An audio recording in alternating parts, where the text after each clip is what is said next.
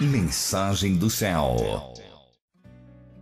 Uma, pergunta do ouvinte sobre os desafios para congregarmos. Não é? Então, um ouvinte querido, não é? Me dizendo, céu, é bem difícil a gente congregar, é bem difícil é, lidarmos com algumas situações de congregação. E eu quero, claro, tratar com vocês é, alguns aspectos que levam você, levam a mim, levam a qualquer um, viu, queridos? A não querer congregar. Então vamos para o lado negativo, queridos. Vamos, é, os judeus sempre perguntam quando falam para o judeu: tem uma notícia boa uma ruim para falar? O judeu fala: fala primeiro a ruim porque depois eu vou ficar com a notícia boa no gosto da minha boca, que nem a gente que come o sal primeiro para depois comer a sobremesa, não é? Para ficar com gosto doce na boca, não é assim, queridos? Então, vamos começar pelas coisas ruins, não é?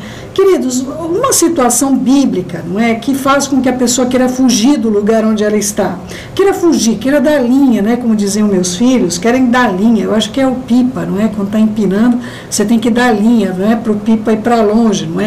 As pessoas também querem dar linha quando a pessoa sofre injustiça e difamação. Então, vamos supor, você está congregando num lugar, de repente você começa a sofrer injustiça e difamação, e você não quer mais estar naquele lugar, não é? Olha só, vamos falar aqui num caso familiar.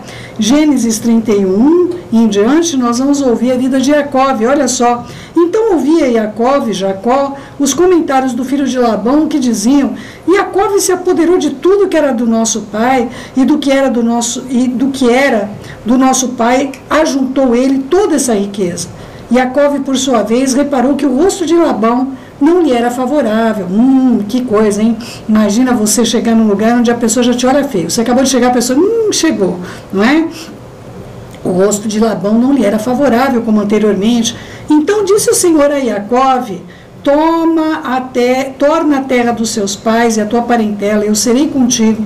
Então Jacó mandou vir Raquel, Lia ao campo para junto do seu rebanho e lhes disse: Eu vejo que o rosto do vosso pai não me é favorável como anteriormente, porém o Adonai do meu pai tem estado comigo. Não é? E vós mesmas sabeis de todo o empenho com o qual tenho servido o vosso pai. Então, acontece, queridos? Quando a gente tem uma pessoa, imagina, você chega no lugar, a pessoa já te olha feio, a pessoa está te caluniando que você está fazendo isso, isso, aquilo, ou então pior, não é, queridos? Vamos dizer, vamos supor que você realmente cometeu algum erro, cometeu algum pecado, e as pessoas ficaram sabendo, e isso se torna o padrão de conversa ali dentro da congregação. Queridos, ninguém quer estar num lugar assim, as pessoas vão querer desaparecer daquele lugar, não é? É um lugar que se torna é um lugar é, que vem a referência para nós de nós sofremos injustiças e de nós sofremos difamações. Então, queridos, uma das causas por que as pessoas não querem estar naquele lugar é quando elas sofrem, sofrem justiças e difamações. Queridos, eu vou dizer uma coisa para vocês com muita clareza: não é bíblico isso, tá, amados? Então, é, primeiramente, é, não é certo uma pessoa estar tá brava com a outra, ou sei lá o quê. Quando tem algum problema dentro da congregação, deve ser dito, não é? A pessoa está com algum problema com o outro, o outro fez alguma. Queridos, todos nós somos falíveis, queridos, todo o tempo. É que você não está lá junto com a gente no som do céu, mas todo o tempo eu tenho que pedir perdão, alguma escorregada que eu dou, alguma injustiça, alguma coisa que eu faço que não agrada a Donai, não é? E ele fala, ele vai falar: olha, isso aqui não está certo certo, a gente vai averiguar algumas coisas. Quando a gente vai averiguar, nós vemos que aquilo não era da maneira que o Eterno tinha colocado para a gente que fosse feito. Não é? Então é importante você compreender esse aspecto. Aonde há injustiça e difamações, a gente não, não tem vontade de estar. Outra situação que aconteceu com o rei Davi, não é? Era um homem fiel a Shaul, não é? é e ele é, passou a sofrer agressões e hostilidades. Então, olha só, 1 Samuel 21. Então fugiu, Davi da casa dos profetas em Ramá e veio e disse a Jonatas: O que, que eu fiz? Qual é a minha culpa? Qual é meu pecado diante do teu pai que ele quer me tirar a vida? Então Jonatas disse: Tal não suceda, não serás morto. Meu pai é, não faz coisa alguma sem falar comigo. É, muito bem, sabe meu pai da tua parte que eu, é, que eu achei. Você acredita que se o meu pai me faria alguma coisa sem, sem me falar isso? Tudo isso que você está dizendo não procede de outro lugar senão da tua própria cabeça, Davi, não é? Então Davi respondeu: Olha, eu vou dizer uma coisa para você, Jonatas. Olha, saiba que ele está me rejeitando, está endurecendo o semblante contra mim, não é? Então, disse Davi a Jonatas: Olha, amanhã é festa de lua nova, em que, sem falta, eu deveria sentar-me com o rei para comer na sua mesa. Deixa-me ir, eu me escondo no campo até a terceira hora da tarde. Se o seu pai notar minha ausência, dirá: Olha, Davi me pediu que deixasse ir a sua parentela com pressa a Belém, não é? Portanto, se faz o sacrifício anual da sua família. Se ele disser que tá, está tudo bem é, com o teu servo, porque lhe fizeste entrar contigo na confiança do Senhor, mas se ele, porém, é, disser que há em ti, que há em mim culpa, mata-me tu mesmo, porque me livrarias, por que então não me livrarias da mão do teu pai? Então, queridos, Davi já sabia que Shaul estava odioso, não é, da vida dele, sem causa, sem motivo, as coisas aconteceram de uma maneira maligna, um espírito maligno passou a perturbá-lo, não é? E todas as vezes que estiver um espírito maligno entrando é, dentro dessa, desse contexto, essas coisas ruins vão acontecer mesmo, não é? Queridos, eu quero dizer para vocês, muitas pessoas me falam, mas céu, o Eterno não está vendo isso? Por que, que o Eterno não, não entra é, no contexto, não sara as congregações, não ajudam as lideranças? Às vezes o problema é a liderança, às vezes é os próprios membros. Há líderes que estão sendo perseguidos por membros, não é? Há membros que estão sendo perseguidos por líderes. Eu vou explicar uma coisa para vocês, queridos. Nesse âmbito, o Eterno não invade as nossas vidas você vai ficar aborrecido e aborrecida comigo, não é? Eu vou contar para você. Não existe um homem é, que tenha reportado tamanha presença é, da vida do Eterno na vida dele, como foi Moshe, que você conhece como Moisés. Meus queridos, o Eterno livrou Israel da mão do Egito por meio de Moshe, por meio de Moisés, não é? Meus ancestrais foram libertos por meio da atuação sobrenatural do Eterno. Mas o Eterno não ensinou Moisés, Moshe, a lidar com o povo. Eu vou repetir para você. O Eterno fez com que Moshe, Moisés, saísse do Egito com mão poderosa, abriu o mar diante dele, trouxe pragas diante dele, livrou Israel, ensinou Pêssar, que você conhece como Páscoa, todas essas coisas, mandou maná, fez sair água da pederneira, mas o Eterno não ensinou Moshe relacionamento com a congregação. Moisés iria morrer, querido, se Jetro não aparecesse. O que, que Moisés fazia, Moshe? Ele armou uma tenda, não é?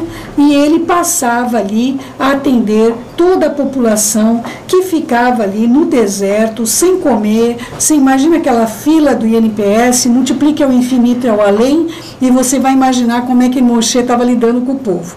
Então ele ia lá para aquela cabana e ele passava a atender toda a demanda do povo de Israel, e o povo ficava ali, dormia na fila para poder ser atendido no dia seguinte, no outro, e no outro, e no outro, e no outro, e no outro, e no outro, e no outro, e no outro. Não é? 3 milhões de pessoas com um único homem atendendo para é, dizer para aquelas pessoas o que ele deveria de fazer. Meus queridos, quando Jetro chegou, o sogro de Moshe, e viu aquilo que estava acontecendo, ele falou assim: Homem, o que é que tu está fazendo? Você vai morrer, esse povo também. Você vai morrer porque ninguém aguenta viver desse jeito, não é? Você vai morrer porque, olha, você ficar agindo dessa maneira com esse povo, certamente você não vai subsistir. Agora, esse povo ficar aí, homens, mulheres e crianças, não é? é aguardando nessa fila aí, de noite e de dia, Moshe ah, meu irmão, você vai me perdoar, é, eu sou seu sogro, mas olha, isso aí não tá bom não. Ou você institui outros 70 aí para estar contigo, não é? Para estar à frente, à testa dessas congregações, e você separa aí lideranças de 50, de 100, não é? E você possa estar fazendo as coisas dessa maneira. Do contrário, olha, meu irmão, vou dizer para você, você vai morrer, esse povo você vai matar aqui também, não é? Então, queridos, é, por que que o Eterno mesmo não falou para Moisés, Moshe, Moshe, o que que você está fazendo, Moshe? Você está agindo igual o INPS no futuro, não é? Você está agindo igual o, como é que é o nome lá, queridos? até esqueci, Black Friday, não é? Você está deixando todo mundo na fila, maluco. Meus queridos, ele não vai intervir em relacionamentos. Você precisa compreender isso, não é? Relacionamentos entre nós, o Eterno quer que nós tenhamos sabedoria para lidarmos e nosso coração tem de se comover em amor não é? Se aquelas pessoas amassem Moshe, elas não iriam estar tão egoisticamente pensando nos seus próprios problemas. E se Moshe amasse também mais aos filhos e à esposa, não é? Não teria causado a separação dele. Não é? Nós sabemos muito bem que depois ele se casa com uma cuxita, então nós sabemos que aconteceu alguma coisa com Zípora, porque Zípora não era cuxita. Não é? Então, queridos, existe uma série de contextos onde, por exemplo, eu amo todos os membros do ministério, mas eu tenho lideranças comigo, eu tenho pessoas que me dizem céu, pé no freio, eu tenho um líder sobre mim, que é meu esposo, Muroshi, abençoado sobre a minha vida, não é? Querido, se eu ficar o dia todo na internet, eu tenho aconselhamentos para fazer noite e dia, mas chega um dado momento que meu marido diz: agora é o nosso momento, querida, agora é o nosso momento devocional, agora é o nosso momento de nós irmos orar, não é? é agora é o nosso momento de estarmos fazendo determinada coisa e a nossa vida é pontuada, porque existem pessoas maravilhosas ao meu redor que têm cuidado da minha vida também para que eu possa cuidar de outras pessoas, queridos, não é? Agradeço até a, a, a minha doutora, não é? Que tem cuidado de mim também. Eu agradeço ao Eterno por ter esse convênio maravilhoso, por ter a oportunidade de ter um tratamento com qualidade, com a qualidade que eu tenho tido para a glória de Adonai.